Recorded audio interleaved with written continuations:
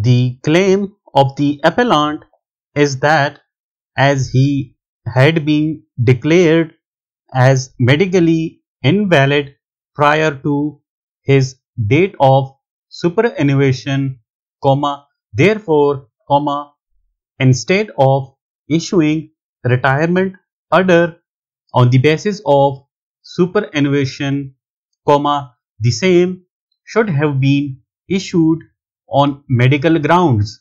Full stop.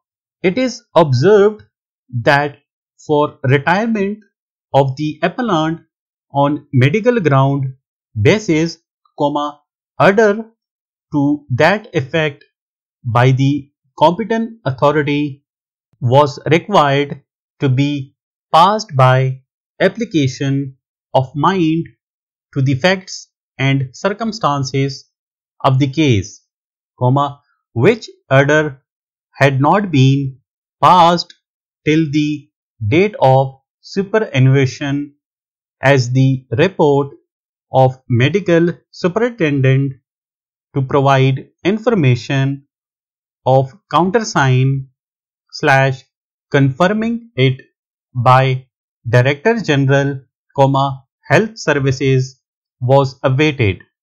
Full stop.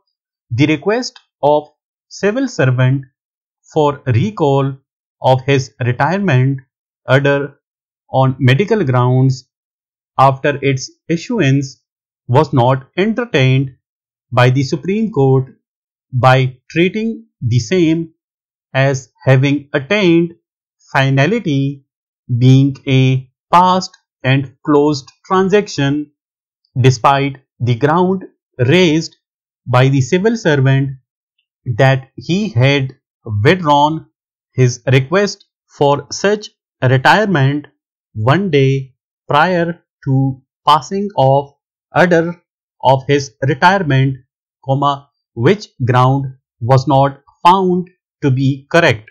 Full stop. By the said time, comma, the competent authority had also become functus officio. Full stop. In these circumstances, comma, retirement order with retrospective effect could not be passed on the basis of medical invalidation when the appellant earlier stood retired on the basis of superannuation. Full stop. For what has been discussed above, comma, no ground to interfere in the order passed by the learned single judge in chambers is made out. Full stop.